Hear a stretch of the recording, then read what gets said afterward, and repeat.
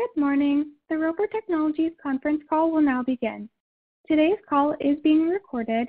All participants will be in listen-only mode.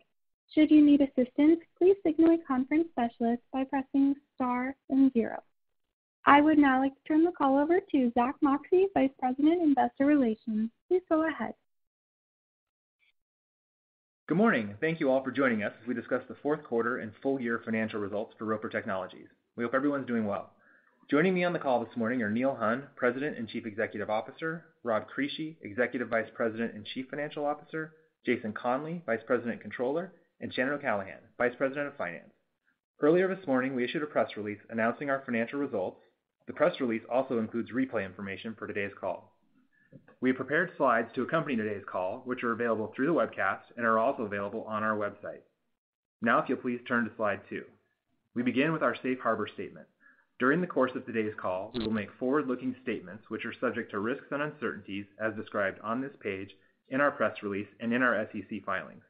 You should listen to today's call in the context of that information. And now please turn to slide three. Today, we will discuss our results for the quarter and year, primarily on an adjusted non-GAAP basis. Reconciliations between GAAP and adjusted measures can be found in our press release and in the appendix of this presentation on our website. For the fourth quarter, the difference between our GAAP results and adjusted results consists of the following items: amortization of acquisition-related intangible assets, purchase accounting adjustments to acquire deferred revenue and related commission expense, and lastly, transaction-related expenses for completed acquisitions. And now, if you'll please turn to slide four, I'll hand the call over to Neil. After our prepared remarks, we will take questions from our telephone participants. Neil? Thanks, Zack, and good morning, everyone. Thanks for joining us, and we hope everyone is doing well. For today's agenda, we'll walk through our 2020 financials and operational highlights. Then we'll turn to our 2020 segment detailed results and discuss our 2021 segment-by-segment outlook and end with our 2021 enterprise guidance prior to discussing your questions. Next slide, please. As we look back on 2020, it was quite a year. Our businesses performed at a very high level during this period. Revenues grew 3%, with organic revenue declining a single percent. EBITDA also grew 3%, and free cash flow grew 16%. This cash flow performance, 1.7 billion, is just astounding. This is a testament to many things, notably our asset-light business model, the intimacy we have with our customers, and the high level of skill and execution of our field teams. This cash flow is just simply a great result. Perhaps more important, 2020 was a year of forward progress for our company. We exit 2020 as a better company, a company with higher quality revenue streams, a company with improved future innovation prospects, and a company with whose portfolio was enhanced with 6 billion of capital deployment. To this end, we saw our software recurring revenues increase mid-single digits in 2020 and were benefited by high levels of retention and an acceleration to the cloud. We continue to be benefited by having close, intimate relationships with our customers. Most often, our software is mission-critical to our customers' operations. In addition, we continue to strategically invest throughout our portfolio during the year. Based on our historical experience, we find times of market disruption the best time to double down on innovation and market investments, which in turn will drive market share gains in the years to come. Finally, we were able to deploy $6 billion to further enhance Roper's group of companies, headlined by our Vertafore acquisition. So when we look back on 2020, we highlight two key themes. First, we grew. Cash flow increased 16% in the middle of a pandemic. Second, the quality of our enterprise continued to improve during the year. Net-net, we got bigger and better during 2020. Let's turn to the next slide. Over the past five years, we highlight that our revenue grew at a 9% compounded rate, EBITDA at 10%, and cash flow at 13%. We continue to grow and compound through macroeconomic cycles. Also, during the time period, the quality of our enterprise meaningfully improved. We are more software-focused, with nearly two-thirds of our EBITDA coming from software, with higher levels of recurring revenue. Conversely, we are much less tied to cyclical end markets today, a little over 15% of our portfolio. Given our long-term strategy and these factors, we are a low-risk enterprise. We compound cash flow through cycle and do so with multiple growth drivers across both organic and inorganic fronts. As we look to 2021, we will continue our long-term string of revenue and EBITDA and cash flow compounding. So with that, let's turn to the next page and discuss the macro backdrop for 2021. As we look to 2021, we are set up for a strong year. We expect revenue and EBITDA will grow well into the double digits, likely in the mid-teens range, with organic revenue growth in the mid-single-digit plus range. This is on top of growth in 2020. The compounding continues. Breaking it down, our software businesses, both in our application software and network segments, are well-positioned heading into 2021. These businesses enter the year with momentum from strong retention and recurring revenue gains.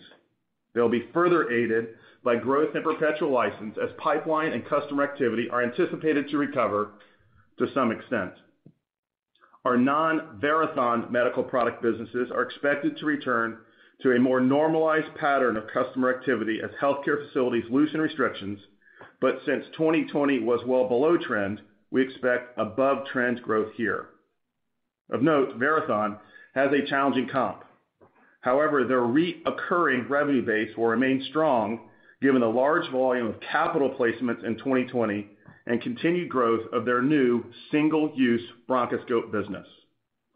We expect Neptune to recover and grow nicely as their customers, especially in the Northeast U.S. and Canada, gain access to residential locations. We expect our industrial and process tech businesses to continue their quarterly improvements and return to growth after two years of macro headwinds. Finally, 2021 will be meaningfully aided by the contribution from our 2020 cohort of acquisitions. To this end, we continue to work with a very full and high-quality M&A pipeline. We are committed to deleveraging, but we also remain active in building and maturing our pipe. So as I think back over the nearly 10 years I've been with Roper, I cannot think of a better set of tailwinds heading into a year. Clearly, lots to do and lots of execution in front of us, but we have a strong momentum heading into 2021. Now let me turn the call over to Rob. Rob? Thanks, Neil. Good morning, everyone. Uh, turning to page eight, uh, looking at our Q4 income statement performance. Total revenue increased 8% as we eclipsed 1.5 billion of quarterly revenue for the first time. Organic revenue for the enterprise declined 2% versus prior year. EBITDA grew 7% in the quarter to a record 552 million. EBITDA margin was down 40 basis points versus prior year at 36.6%. Tax rate came in at 19.9%, a little lower than last year's 21.6%. So all in, this resulted in adjusted diluted earnings per share of $3.56, which was above our guidance range. Next slide. Turning to page nine, reviewing the Q4 results by segment. Uh, Neil will discuss the full year 2020 segment performance in more detail later, so just touching on some of the Q4 highlights here by segment. Application software grew 35% with the addition of Vertafore. Organic for the segment was -2, with mid-single-digit recurring revenue growth continuing. Sharp declines in our CBORD and Horizon businesses serving K-12 and higher education impacted the segment, as many schools unfortunately remain closed. For network software and systems, +2% organic growth with our software businesses putting up a very solid +4% organic. TransCore was flat versus prior year. For measurement and analytical solutions, Uh, +1% organic growth as we started to see some sequential recovery at Neptune and our industrial businesses. Segment margins were impacted a bit by the acceleration of some product and channel investments at Verathon, as we discussed coming into the quarter. Uh, and it's really been an exceptional year for Verathon overall. Lastly, for process technologies, a 21% organic decline with margins holding up well at 31.3%. And once again here, we started to see some early signs of improvement after a couple of years of declines. Next slide. So turning to page 10, uh, looking at net working capital, uh, honestly, the slide mostly speaks for itself, ending the quarter with -8% net working capital as a percentage of Q4 annualized revenue. Uh, while there are certainly some seasonal trends, primarily around timing of software renewals, that do typically benefit our Q4 performance, you can see here a meaningful improvement versus 2018, improving from -3.4% to -8% in 2020. Our asset-light negative net working capital model drives our sustainable high cash conversion and fuels our cash flow compound. Our people focus on what we all believe matters, and our culture is built around growing the right way. Top-line growth converts to cash flow, and we are always mindful of impacts to our balance sheet. Next slide. So turning to cash flow. Uh cash flow performance, as Neil mentioned, was really pretty spectacular no matter how you look at it. Q4 free cash flow of 558 million was 23% higher than last year and represented 37% of revenue. This excellent result was driven by the great working capital performance I just discussed, which was really across the enterprise, uh, along with meaningful cash contributions from Vertafore and the other recent acquisitions. So for the full year of 2020, we generated 1.72 billion of operating cash flow and 1.67 billion of free cash flow. So to repeat, that's 1.7 billion of free cash flow in 2020. Truly a great year. Full-year free cash flow growth was 16%, and our free cash flow conversion from EBITDA was a robust 84%. So really tremendous cash flow performance, and it was broad-based and very durable. Next slide.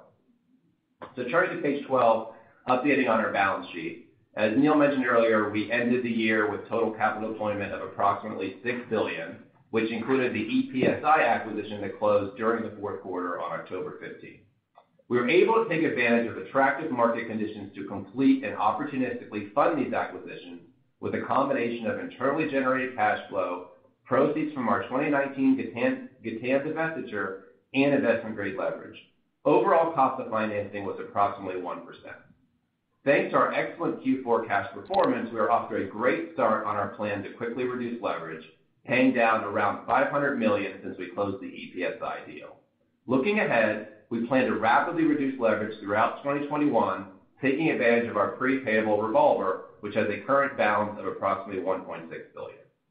Our solid investment-grade balance sheet supports long-term cash flow compounding, which we are well-positioned to continue. So with that, I'll pass it back over to Neil for the remainder of our prepared remarks. Thanks, Rob. Let's turn to our recap for 2020. To help orient you to this page, we're comparing our full-year outlook from last April to that of what actually happened. It's worth reminding everyone that we felt our businesses and our business model had the level of recurring revenue, customer intimacy, and the business leadership required to guide in the face of the COVID uncertainty, both in terms of supply and demand. In aggregate, we thought our full-year organic revenues would be plus or minus flat, and we came in at down -1%. The TransCore New York project is the primary reconciling item between between being down a touch and being flat or slightly up, and more on this in a minute. We guided DEPS to be between $11.60 and $12.60 and came in at $12.74. Looking back on this, we are very proud of our team's ability to look forward and operate through the uncertainty of last year. There is no better example of the durability of our model than this past year. With that, let's walk through the macro drivers across each of our four segments. Relative to application software, this segment played out as anticipated and was up 1% on an organic basis for the year. Specifically, we saw recurring revenue up mid-single digits, aided by very strong retention rates, as well as an acceleration to the cloud. As a reminder, recurring revenue in this segment is about 70% of our revenue stream. Perpetual revenues, about 10% of this segment's revenue, were under pressure as expected. We saw this revenue stream down mid-teens as new logo opportunities and wins were pushed and delayed. That said, cross-selling activity remained active for much of 2020. Relative to services revenue, we anticipated some pressure tied to shifting to remote installs and having fewer new implementations, which are tied to new perpetual transactions. For 2020, we saw mid-single-digit declines here, principally tied to fewer new deals. Our teams did a wonderful job shifting to remote installs, a trend we anticipate will continue in large part on the backside of the pandemic. As it relates to our network segment, we expected organic revenue for the year to be up mid-singles to double digits, when in fact, we grew 3% for the full year. Our network software businesses performed as anticipated, with recurring revenues growing low single digits, again, benefited by high retention rates and high levels of recurring revenue. This segment underperformed our expectations, primarily due to TransCore's New York Congestion Infrastructure project timing. In April, we expected approximately 75 million more in revenue from this project than actually occurred in 2020. More on this when we turn to the segment overview, but we expect this 75 million of pushed revenue to be recognized in 2021. It's also worth noting that the number of toll tags shipped last year were at historic lows given the lower traffic volumes, but this was anticipated. For our MAS segment, we've talked all year about this being the tale of four situations: Verathon, other medical products, Neptune, and industrial. For the year, again, back in April, we felt this group would be flat to up mid-single digits on an organic basis. We posted 1% growth. We feel very good about the execution across this group of companies. The primary reconciliation factor is a slower recovery ramp tied to our non-Verathon medical product businesses and Neptune. Specifically, we anticipated unprecedented demand for Verathon's intubation product family. For the year, Verathon grew substantially as COVID accelerated the further adoption of video intubation as the preferred technology. Our other medical product businesses, which grow mid-single digits like clockwork, were down mid-single digits for the year, tied directly to lower elective procedure volumes and limited hospital capital spending. Interestingly for Neptune, we highlighted municipal budget uncertainty in April. This proved generally to be a non-factor as municipalities' budgets were approved and available. However, the impact of the lockdowns, especially in the Northeast U.S. and Canada, had a prolonged impact on our customers' ability to do routine meter replacements. As a result, Neptune was down low double digits for the year, slightly worse than our initial expectations. Finally, for this segment, we expected sharp industrial declines, and that is what happened, with these businesses being down low double digits for the year. That said, we are seeing sequential quarterly improvements across both Neptune and our industrial businesses. Finally, and as it relates to our process tech segment, we expected to be down 20%-25%, and we were, logging in at down 21%. This played out as we anticipated with much lower energy-related spending, project timing pushes, and the inability to get field service resources into customer locations. So this is the play-by-play rewind for 2020. Now let's turn to the segment pages for a bit more detail. Next slide, please. For application software, where revenues here were 1.81 billion, up 1% organically, with EBITDA of 772 million. The broad macro activity for this segment has remained quite consistent for much of 2020. Specifically, we continue to see accelerating demand for our cloud solutions. This bodes well for our long-term recurring revenue growth and customer intimacy. At a business unit level, Deltek's GovCon business continues to be super solid and grow very nicely. But we did see some headwinds relative to their offerings that target the consulting, marketing services, and AEC space. That said, recent customer activity and top-of-funnel activity suggest some market thawing is occurring. Aderant and PowerPlan delivered flat EBITDA in a year with nice recurring revenue gains. We experienced very nice growth across our lab software group, again, doing our part to help fight the COVID war. Strata delivered double-digit organic growth and completed a strategic acquisition in EPSI. Notably, the combined business will analyze roughly half of the U.S. hospital spend. Finally, Our two businesses that serve the education space, CBORD and Horizon, declined double digits in the year simply due to having a customer base that was shut down. A decent amount of revenues in these businesses are tied to student volumes. Importantly, we acquired Vertafore last year. They're off to a great start with strong earnings and very strong cash flow in the fourth quarter. Looking to Q1, we see flat to low single-digit organic growth based on continued mid-single-digit recurring revenue growth, offset slightly by lower perpetual and services revenues given last year's non-COVID comp. Now let's turn to our network segment. Here, revenues were 1.74 billion, up 3% on an organic basis with EBITDA of $732 million. Our network software businesses performed well during last year, growing low single digits.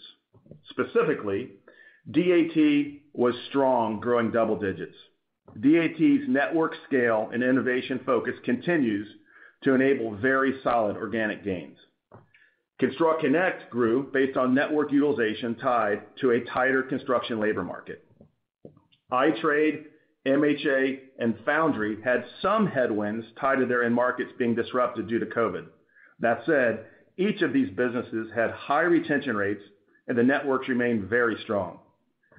iPipeline also performed well during their first year being with Roper and completed two bolt-on acquisitions. Our non-software business businesses struggled a bit during the year. Specifically, rf IDEAS, our multi-protocol credential reader business, did well in their healthcare applications, but was hampered by meaningful declines in their secure print market. For the full year, TransCore pushed about 100 million of revenue out of 2020 into 2021 associated with their New York project. In addition, EBITDA margins were pressured due to lower tag shipments and a few non-New York project pushouts. As we look to the first quarter of 2021, we see organic revenue, as you can see in the lower right-hand box, to be down 3%-5% for the quarter.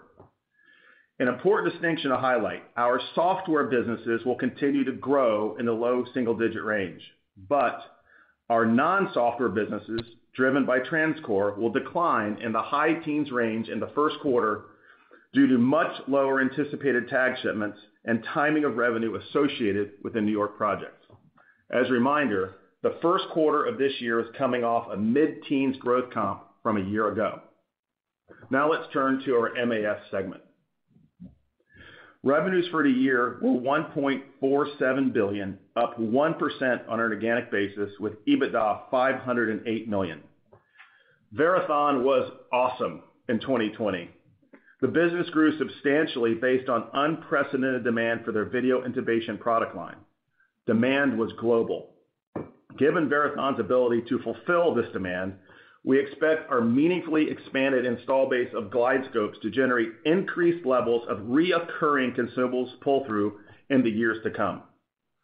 In addition, the first year of their single-use bronchoscope release was successful. We believe we gained a substantial foothold in the market during the inaugural year of this product category. Our other med product businesses declined, but they started to see more normalized patient volumes towards the end of the year. Further, customer interactions are starting to resemble more normal levels of engagement. Neptune declined low double digits tied exclusively to our customers in the northeastern U.S. and Canada not having access to indoor meters. Other regions were flat during 2020. Neptune's market share remained strong throughout the year. Finally, our industrial businesses were down but have shown sequential improvements throughout the year. For Q1, we expect low single-digit organic growth for this segment with similar patterns to that of the fourth quarter. Now let's turn to our final segment, process tech. Revenues for the year were 519 million, down 21% on an organic basis with EBITDA of 156 million or 30% of revenue. Compared versus two years ago, these businesses are down about $90 million in EBITDA and yet maintained 30% EBITDA margins. Congrats and thanks to our leadership team for their continued exceptional execution. As a side note, Roper continued to compound despite these cyclical headwinds. Hmm. That said, this segment is pretty straightforward and has been the same story all year. COVID has negatively impacted our oil and gas and short cycle businesses. Certainly, low oil prices did not help either. That said, we have seen some green shoots across this group as capital spending started to improve as we exited 2020. As we look to the first quarter, we expect declines to moderate in the first quarter to be in the 10% range. Importantly, we have easing comps as we enter the second quarter. Also, over the last couple years, these businesses continue to make product and channel investments to be best positioned to fully capture this cyclical upswing. The next few years here should be pretty good. Now let's turn to our guidance and the associated framework. While this slide is somewhat busy, we wanted to line up for you the key macro differences between our 2021 full year outlook on a segment basis versus our actual 2020 results. In aggregate, we expect total revenue to increase in the mid-teens range, with organic growth being in the mid-single digit plus area. As we look across the revenue streams for our application software segment, we expect mid-singles growth. Specifically, we expect a slightly improved recurring revenue growth rate aided by last year's recurring momentum and an increased mix towards SaaS. We expect flat services revenues and mid-single digit plus growth in perpetual as we expect a modest market recovery and easing second half comps. Similarly, we expect mid-single digit organic growth in our network segment, with our network software businesses growing mid-single digit plus. We expect TransCore to complete the New York project and see recovering tag sales. When combined, TransCore should grow mid-singles for the year. We expect MAS to grow mid-single digits as well. Our medical product businesses were exceptional last year, up 20%. Importantly, the quality of our medical products revenue stream will continue to improve as Verathon's recurring revenue streams tied to GlideScope and B-Flex continue to gain momentum.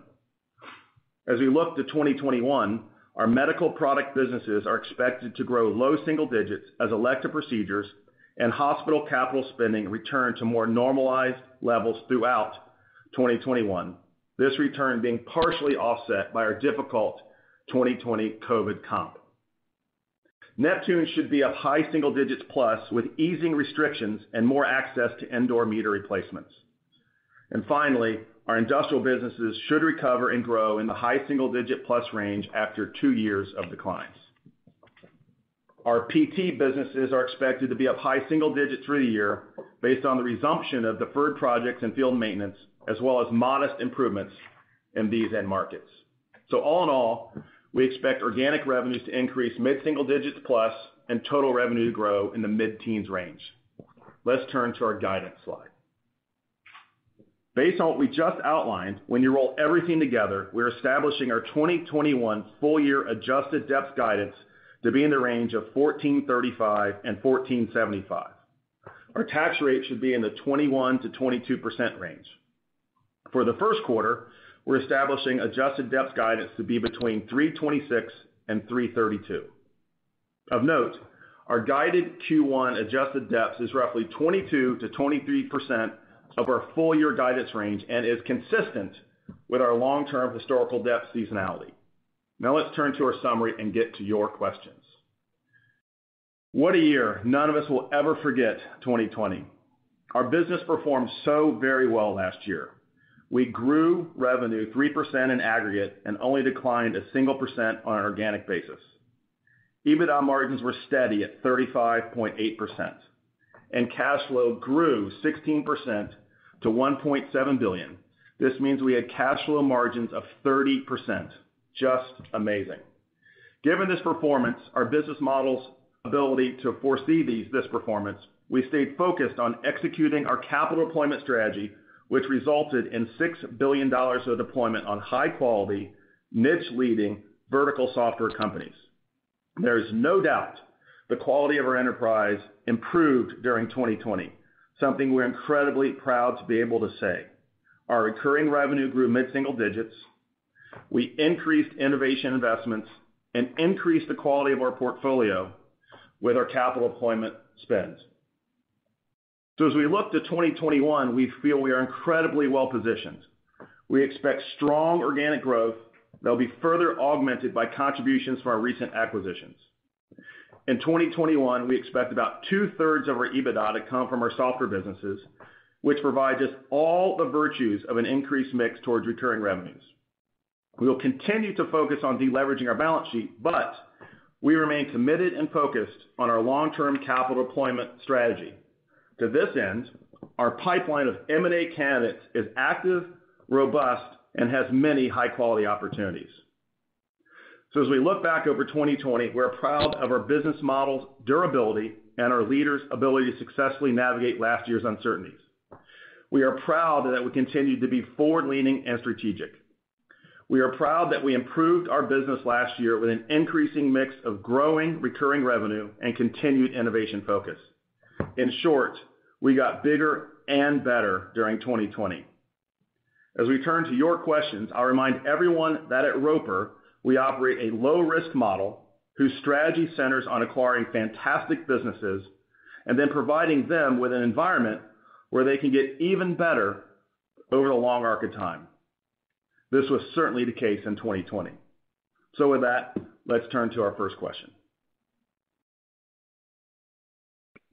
We will now go to our question and answer portion of the call. We request that our callers limit their questions to one main question and one follow-up. If you would like to ask a question, you may do so by pressing the star key followed by the number one on your touch-tone phone. If you are using a speakerphone, please pick up your handset before pressing the keys. To withdraw your question, please press star, then the number two. Again, we request that callers limit their questions to one main question and one follow-up. The first question today comes from Deane Dray of RBC Capital Markets. Please go ahead. Thank you. Good morning, everyone. Hey, good morning, Deane. Morning, Deane. Hey, I really appreciate all the new disclosures you're providing here, especially pages 14 and 20, those bridges between your original guidance, what you delivered, and then the organic bridge on 20 is really helpful. A lot of granularity there. And if we were to start, um, just because the New York City contract is such a high profile and it did have a swing factor, Um, can you give us a sense of uh, how much, uh, just remind us the revenue you're expecting for the year, how much of it could land in the first quarter, and just confirm there's been no change in scope? Yeah. So, uh, hey, Deane, good morning. It's about $100 million for the full year. And in the first quarter, we only have about $10 million-$15 million in there. As we mentioned, there's a bit of a pause, but now it's started up and running again, and the scope is unchanged. Got it. And if you were to highlight all the areas uh, where you're seeing improvement in licenses and uh, the services pipeline, you know, what's at the high end uh, in terms of the businesses today? Yeah, Deane, maybe I can ask you to sort of rephrase the question. I want to make sure that we fully understand the question. Yeah, just in terms of uh, the licenses revenues that you're seeing today, um, you've taken us through where some of the challenges have been. What's on the uh, the upper end of your guidance uh, where you would see potentially how it would play out on the positive side? Sure. Okay. So um, appreciate the question. I think we understand it now. So the total perpetual revenue for our core businesses, the software businesses that have been in the portfolio for a while, was down um, obviously in 2020. We expect about the recovery in 2021 to be about half of what we are down. Um, we're seeing strength. You know, we've seen continued strength all year in 2020 in the perpetual book of business in Deltek's GovCon business. As I talked about in the uh in the prepared remarks, we're seeing thawing and some and some activity in their professional services end markets that's encouraging. These are the architects, the engineers, the contractors, the marketing services firms, the consulting firms, those those that book of business. In addition, the other large parts of the perpetual book are at Aderant and PowerPlan. Aderant has its own unique set of competitive factors where the customers the customers that have not upgraded their software from the competitive customers that have not upgraded their software have to upgrade, and we're winning, you know, a large percentage of those. And so all that activity just got pushed to the right a bit, and that's somewhat encouraging, and pipeline activity is positive there. And then PowerPlan's um pipeline activity is uh is full. It has a handful of large opportunities in it, which are obviously hard to, you know, predict the exact timing. But we actually like the pipeline build across the companies that have the primary book of perpetual business. Okay, that's helpful. And just as my follow-up question be for Rob, uh, do you have specific deleveraging plans for the year, Uh, that you could share with us in terms of, eh, you know, where and how? You said you'd be paying down the revolver, but just are there specific goals that you can share, uh, for 2021? Sure. So it'll be, as you know, when we're in deleveraging mode, all the free cash flow goes towards deleveraging. So you know, we pay a dividend that'll continue, but essentially the rest of the free cash flow goes towards deleveraging. So, you know, that's a rough, you know, probably after you're paying a dividend, you know, roughly $1.5 billion of deleveraging is probably a good ballpark number.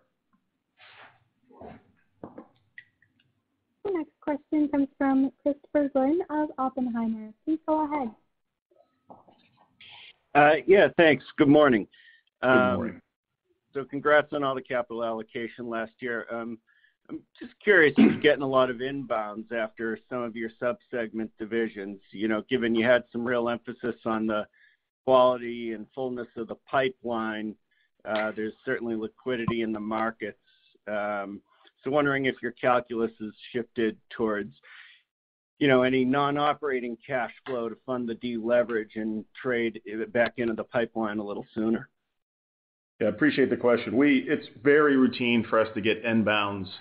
Um, you know, I've been here almost 10 years, and there's there's a handful of what I would say I would say meaningful and credible inbounds in any given year.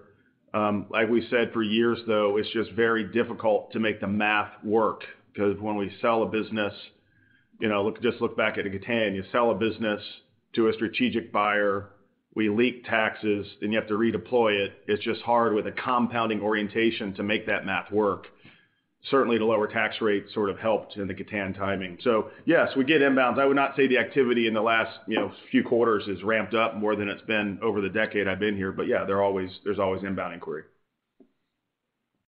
And appetite to entertain that uh, was the other part of that question. Yeah, I think it's the appetite. You know, we've never not had the appetite. It just comes down to the math and doing what's best in our view, according to our math for our shareholders. So it's the appetite has remained unchanged. Understood. Thanks. You're welcome. The next question is from Steve Tusa of JPMorgan. Please go ahead. Hey, guys. Good morning. Hey, Steve. Um, the free cash was pretty strong in the fourth quarter, uh, you know, like almost 95% uh, of EBITDA. Um, You know, last couple fourth quarters, it's been around 80%. What what was the kind of overdrive there? And then, uh, when it comes to um, cash and EBITDA, how much did, roughly did uh, Vertafore add? Uh, Vertafore was around 90 or so of of both cash and EBITDA. And yeah, you know, as I mentioned earlier, Steve, just great working capital performance across the portfolio, very broad-based. Uh, you know, you're getting your software renewals, which were very strong in the fourth quarter. Uh, there certainly is some benefit, right, from those more cyclical businesses being a little bit uh, softer, right? And that lowers working capital overall. But just great working capital performance. Our cash taxes year-over-year were about flat, so it really was all on working capital. Got it. And then, um, within the guidance, I guess you didn't really quite. you don't usually guide for free cash flow for next year. I think you said $1.5 billion. Is that is the billion the $1.5 billion after the dividend? And then um does that include any of the tax benefit that you guys bought with Vertafore, the benefit of that? Yeah. So the $1.5 billion is a deleveraging number. So that's an estimate. That's that's after paying dividends. Um so for next year, yeah, you're right. We don't guide free cash flow. Um, we always have very strong conversion. As you know, we expect that uh, very high conversion to continue. Uh, as I mentioned, those working capital um, trends are very sustainable, right? It's the culture, it's the type of businesses we buy. As the software businesses grow, their working capital continues to go down, so that all should continue. Uh, um, in terms of the tax attributes, yes, there are some tax attributes related to Vertafore, which we disclosed, a little over 100 million. So there'll be some benefit from that coming uh, in 2021.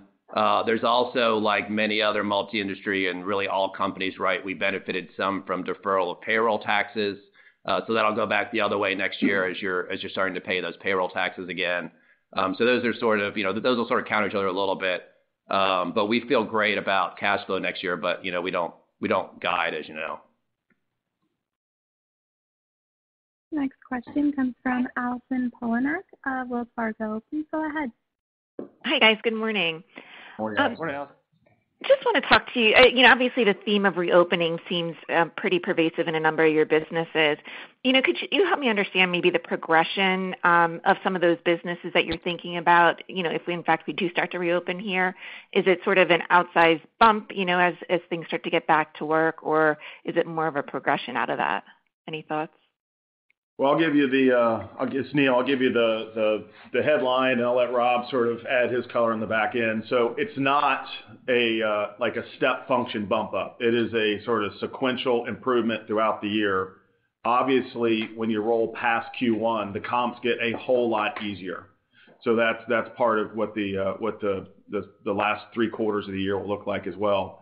When you look at it on a company by company or sort of segment by segment basis, just rolling through, you know, basically, it's the perpetual book of business and the associated services that come with that for application software that ramps back up. Um, and network, they're really um, for the network businesses, it's a little bit of ramp back at Foundry. It's a little bit of ramp back at um, at iTrade, but the other businesses were, you know, pretty steady as she goes, DAT, ConstructConnect, et cetera. TransCore stands by itself. It's tied principally to uh, two things. One is the New York project completing, and second, the return of traffic volumes and the associated tags that go with them. For uh, for the MAS segment, it's Neptune just sequentially coming back and importantly, getting the the access to the indoor meters in Northeast U.S. and Canada. Um, I said in the prepared remarks, market share was super steady, maybe plus a little bit in that business last year. Um, it's just access, our customers getting access to do routine replacements.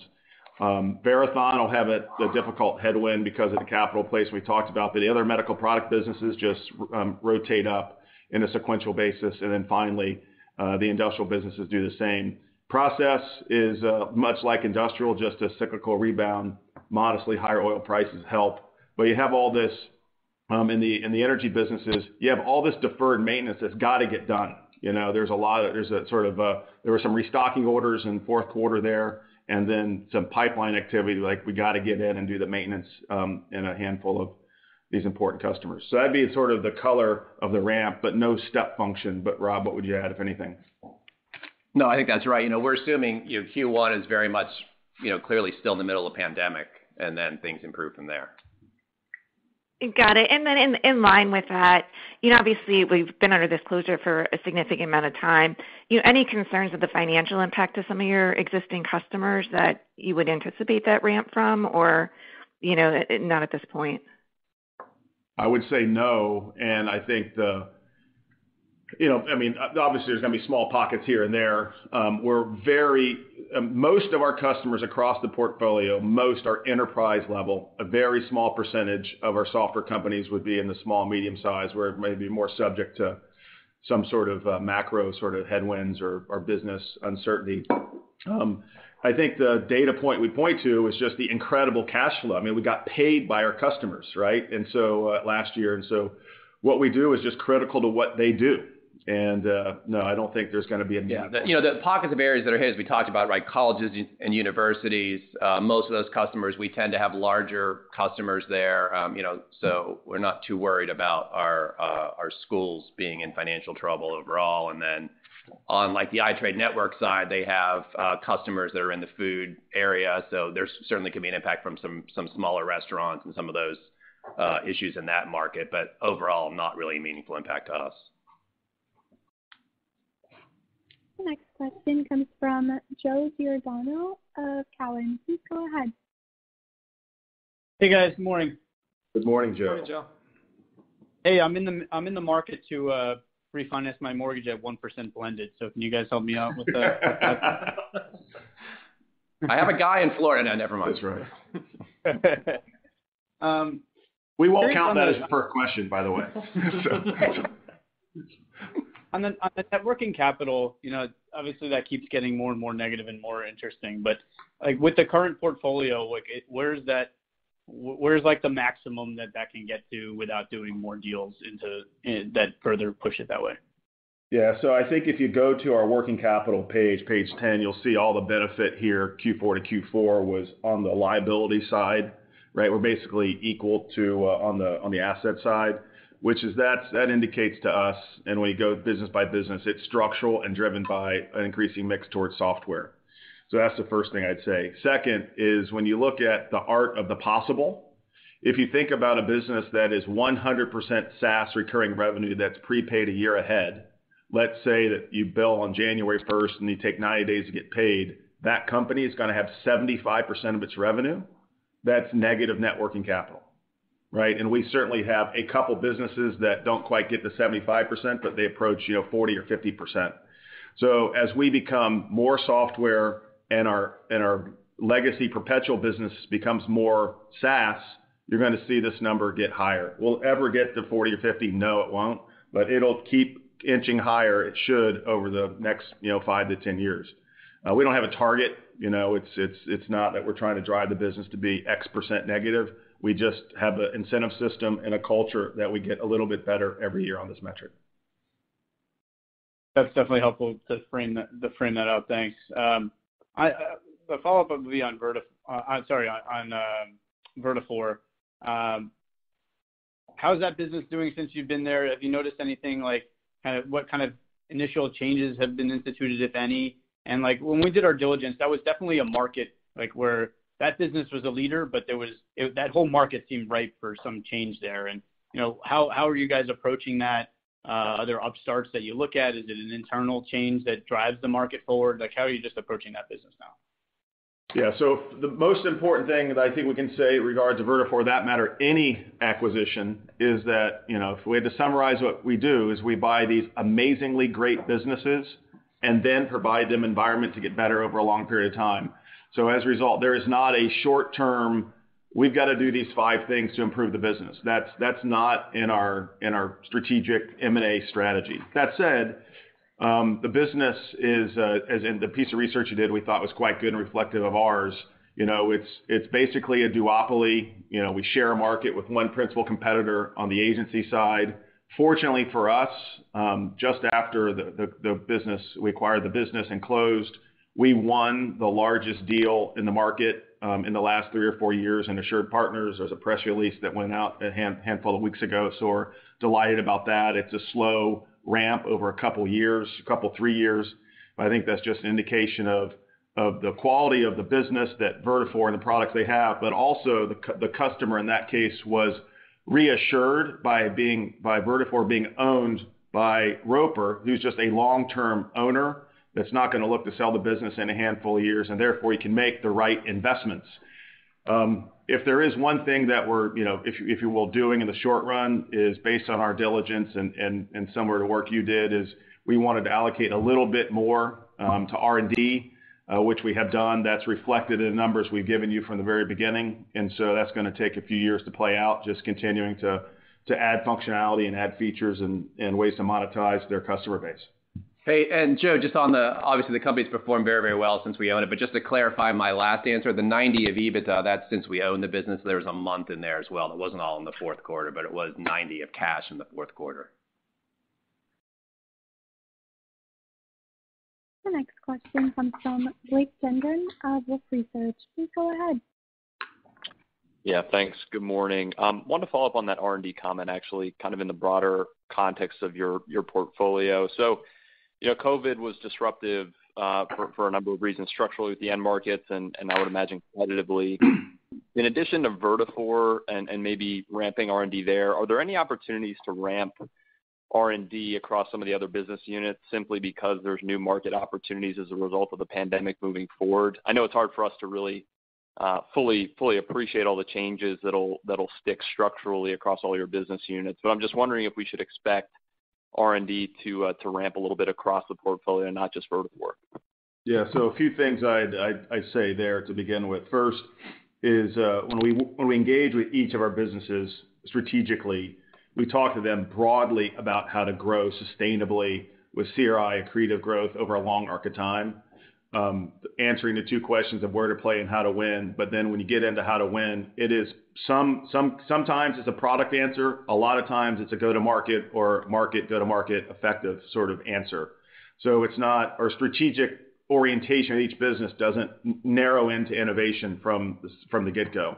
That said, you know, obviously innovation and R&D, we're mostly a D shop, mostly development, Um, across our software businesses. You have seen and likely will continue to see a modest uh, increase in R&D uh, spend, you know, as a percent of revenue for years to come. In 2019, it was about 7.5%. Last year, was about a little over 8. This coming year, we're probably gonna add about 100 basis points, be a little over 9. There's a Vertafore mix in there that they have a little bit higher percentage as as compared to some of our other businesses. But I think you will see and are seeing an increase uh, in innovation um, there. I'd sort of stop there. I mean, if you have any follow-ups, we're happy to happy to do it, but the short answer is yes. I guess there's one other thing. If you compare Roper's, you know, the 8 or 9% of revenue that we spend in R&D, uh, compared to other software companies, it appears low. When you look at our software businesses, we're right in line with the peers. We're between 10 and 15%, 17%, depending on the company. The application businesses tend to be on the higher side of that. The network businesses tend to be on the on the lower side of that. And the reason the mix for Roper is low is because we have a, you know, quite a bit of revenue in TransCore, MHA, and others that effectively don't have any R&D in their business model. So uh, it's always important to point out when we get asked a question about R&D. No, that's helpful to think about the framework there. Uh, wanted to shift to Deltek. I thought it was interesting what you mentioned, GovCon stability versus maybe some of the professional services being impacted by COVID. Um, you know, the GovCon, I would imagine you're you're dealing with large uh, enterprise customers, so we should expect it to be kind of stable in addition to just general government spending being stable. On the professional side, is it just a matter of the reopening, um, or, you know, is there anything we can think about with respect to customer size, large versus SMB? Uh, and then maybe end markets specifically that we should be looking at for the recovery. Is it just, you know, non-residential construction on the AEC side? You know, how should we think about Deltek improvement uh, in 2021 and beyond? I'll give you a gold star for getting, like, seven questions into one question. So I'm gonna do do our best to try to come tick through these. So on Deltek, it's It's important to note, it is a combination of large enterprise and the smaller end of the GovCon space that's been super strong throughout the year. It's not just been at the high end. Uh and yes, we expect that to just continue as the. It's not tied to infrastructure, if, you know, per se. You know, these government contractors go to where the fast currents of government spend is. You know, it's gone from military to education to maybe infrastructure. They just go to where it is. That might drive some M&A activity, by the way, which is generally good for us. On the professional services side, the book of business here is is broad, but if there are pockets of concentration, it's in architects, engineers, and contractors. Um, obviously, uh, the contractors, mostly non-res contractors in this case, they are the ones that are a little bit worried, and they've sort of, you know, tightened up a little bit more. It's the architects and engineering firms that have shown some green shoots here in Q4. Um, in addition, marketing services firms um, is a is a leading niche uh, for Deltek, and those businesses also have started to thaw. Um so I think that checked off your questions. If we missed one or two, we're happy to follow up with you after the call. The next question comes from Julian Mitchell of Barclays. Please go ahead. Hey, morning, everyone. This is Jao on for Julian. Good morning. Uh, maybe to start with, could we get your thoughts on, you know, maybe margin expectations uh, for the segments? Obviously, a lot of movement uh, in the software margins in 2020, kind of a lot of mix shifts you guys are calling out on that slide 20. so Just wanted to get your thoughts there. Yeah, I mean, we can go through the segments in detail uh, later on. But I mean, overall, our margins are relatively flat year-over-year uh, in the guide. I think there's a little bit of a core uh, you know, decline in the margins given a lot of the costs will come back post-COVID, travel and things that didn't happen. Um, you know, very modest decline there. And then, the Vertafore revenue comes in at a higher margin. So overall, you know, margins are relatively flat. And then, you know, we'd expect some improvement in the in the bottom, sort of the more cyclical type stuff and process. We should get some nice bounce back as that starts to grow in margins. And if I could just add one thing there, sort of piggybacking your question with the last one. You know, core EBITDA margins are gonna be down a bit, because as Rob said, these uh these costs are coming back in. It's hard to spend money on travel and customer meetings, for instance, last year. And we expect some of that to come back in this year. That said, I sort of call it like a trap of leadership. You know, we're increasing our R&D as a percent of revenue by about the same amount that we expect the core margins to come down. So there's gonna be some some teams and some companies may choose to hold margins, and they're gonna have to. There's an opportunity cost inside the business somewhere. In our case, we're very specifically and intentionally not doing that or succumbing to that trap. And then obviously, we get the benefit of the Vertafore mix coming in. So on a in aggregate, margins should be flat to up a touch. Perfect. Thanks. And then maybe on the, you know, services piece of application software, you guys talk about kind of rebuilding that pipeline. Um, what does that process look like? And any thoughts on some of the cadence or just kind of expectations beyond that sort of flat growth you guys guided for? Yeah, I think so. What what you have here is a dynamic where first as a as a precursor, most the vast majority, I should say, of our services work in the application segment are tied to new implementations, whether they're uh, SaaS or on-premise. So if you look back and think through what happened sequentially in 2020, very quickly, um, in the shutdown, the license activity, the perpetual activity slowed down. Um, you had, you know, low license activity, basically Q through Q4. The services book of business has a little bit of a backlog, right? So the services work continued in Q2, continued a little bit in Q3 till you completed the in-flight projects, and then it sort of slowed down, you know, a handful of months behind the license activity. So when you come back on this side, the license activity will pick up sooner, but then you gotta and the services work will follow back behind it. So you've essentially had a slower ramp down and a slower ramp up for services. That's why you see it flattish, where you can see growth in the perpetual book. The next question comes from Alex Blanton of Clear Harbor Asset Management. Please go ahead. Hi, good morning. Morning, Alex. Uh, good morning, Alex. Good to hear you. Uh, I wanted to ask, could you characterize your um, your acquisition intentions for 2021? You had said earlier that it would be primarily you'd be deleveraging for 12 to 18 months. Um, but today you mentioned that you had a very active, robust pipeline of potential acquisitions with many opportunities. So, uh, has there been a change in your intentions there uh, in terms of deleveraging? How would you characterize the acquisition outlook for this year? Thank you, Alex, for the question. So I would I would I would share two things with you. First is we are we or maybe more maybe more than a couple things. So we are active. The pipeline is active. Um, we are spending time uh, with with learning businesses, you know, spending time with all the sponsors that we have relationships with to understand what the cohort of opportunities looks like. Importantly, every sizable transaction that we've completed since 2016, we have had a chance to meet the management teams at least once, if not multiple times, anywhere between six and 18 months before we completed the transaction. So the work that we're doing now is principally focused on that. These are these are getting to getting to understand businesses well before they're ready to be transacted, right? So businesses we're meeting, you know, this month are likely gonna be businesses that we may acquire at the end of this year or into, you know, the first half of next year. So it's the early pipeline work, is the first thing I would say. Second is we're absolutely committed to deleveraging. We're unwavering on that. Third thing, if the right deal came through, there's always a way to figure that out. But that's not our primary focus. Our primary focus is the early part of the pipeline build as well as the uh, as well as the deleveraging. Okay. And secondly, uh, how would you um, characterize the makeup of these companies that you're getting to know?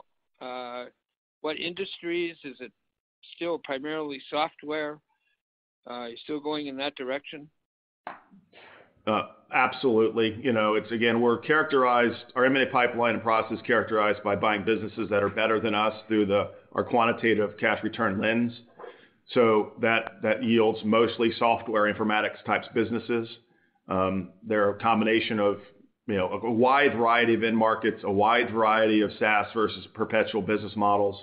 Um, but uh, yeah, it's essentially what the capital deployment over the last, you know, 7-10 years, it's what our pipeline's characterized by that same type of business. This concludes our question and answer session. We will now return back to Zack Moxcey for any closing remarks. Thank you everyone for joining us today. We look forward to speaking with you during our next earnings call. The conference is now concluded. Thank you for attending today's presentation. You may now disconnect.